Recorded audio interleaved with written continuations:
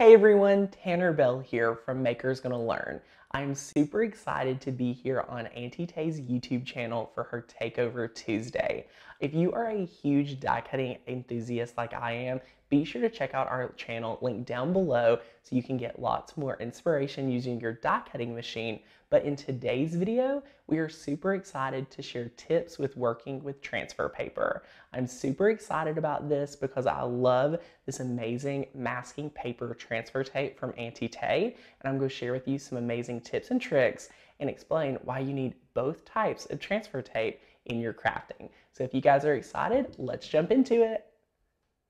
Tip number one is always try to reuse your transfer tape. Now clearly your clear grid line transfer tape is going to be able to be reused quite a few times, which is awesome. But what I really love is the masking paper transfer tape. You get so much more in every roll and it's going to be a lot more affordable for you guys to use fresh pieces because it's so much more economical. So be sure to reuse that transfer tape as it is quite expensive and you guys are going to really see that you can stretch that lifespan quite a bit.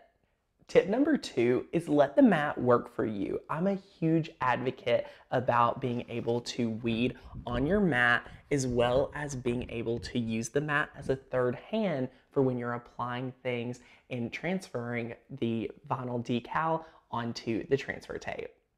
It's super easy to be able to take any transfer tape that you want. Now I'm using the masking paper transfer tape today because we're using a curved surface for this demonstration, but look at how easy it is to pull some out and then just quickly be able to rip it.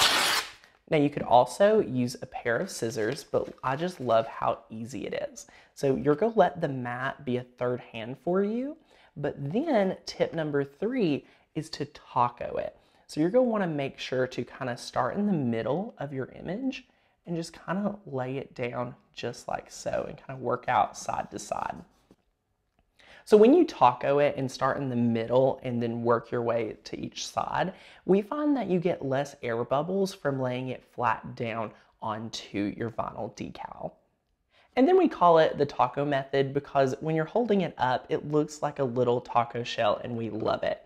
Next up, you wanna make sure you burnish more than you think. And this is a great tip for when you are going to take it from the backing sheet and when you're applying it to whatever surface you're gonna put your decal on. Now, once you've burnished and you're ready to remove it from the mat, here's a great tip. You wanna go with gravity. So we just kind of peel it back right here, just like so, off the mat and then we can sit the mat to the side. Now what I like to do at this step is to be able to burnish just a little bit more. Remember guys, you can never burnish too much because this is always going to help you get an amazing transfer. Once you feel like you have burnished quite a bit though, you can start peeling back just like so. And again, we like to refer to this as going with gravity.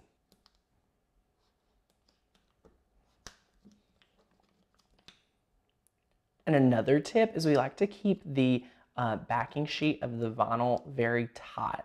So you just peel back just like so until you have the entire image transferred over onto that transfer tape. All right, so we have it ready to go on our surface. Now today we're using a curved surface. So one of my favorite reasons to use the masking paper transfer tape is it's perfect for those curved surfaces because we're actually going to grab a pair of scissors and we're going to snip around it. So see how we have quite a bit of excess for our decal? I kind of like to cut off a little bit more of it just to make sure we're close to the decal. And then after this, we're going to kind of snip around the edges so we can really get up into the different pieces of the project, just like so. And when you do this, you'll find it's not as easy to reuse it, but that's why we have just been finding it's so nice to use the masking paper transfer tape because it's such more economical. So we're gonna have these both linked down below that you can pick up on Shop Auntie Tay. And you can use the coupon code TANNER for 10% off your order. But you also, if you're an Auntie Tay member, you're going to get 20% off. So that's super awesome that they've been able to give that to you guys. Um, so be sure to take advantage of that. So now that you've snipped it, we're going to taco it again. We're going to find where we want to position it, start in the middle, and just like we did before, apply it and work our way to each side. So now we get to burnish a lot more right now that we have it applied down and you can kind of see in different areas where having it um, you know cut and snipped it applies down a lot better and it's a lot nicer than if you did not and it kind of can just flow with those curves so much better. And when it, you are working with curved surfaces, I do like to take my hand through there just to kind of get a feel for it and then take one of your tools.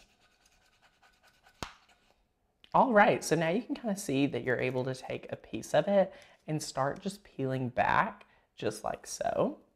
And then you can just kind of see how easy it is to just transfer this out.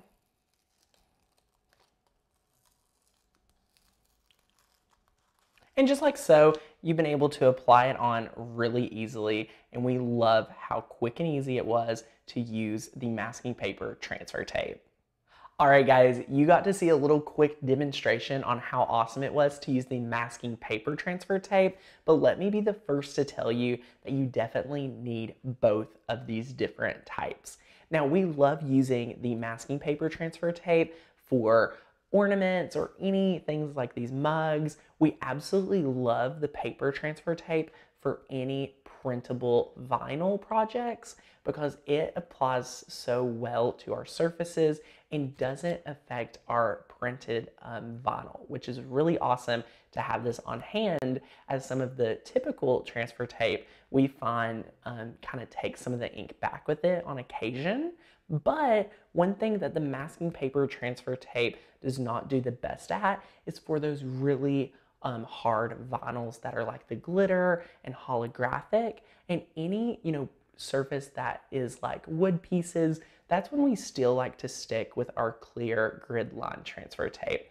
So you definitely do need both of these. And we have found that the clear grid line transfer tape is able to be reused quite a bit more. So there is value in both of these, but when you go over to shopauntietay.com, you will be able to see that you're going to get a lot of the masking tape, transfer tape with um, for an amazing price. So it's super awesome. We highly recommend having both of these in your stash and you're going to have a lot of fun with it.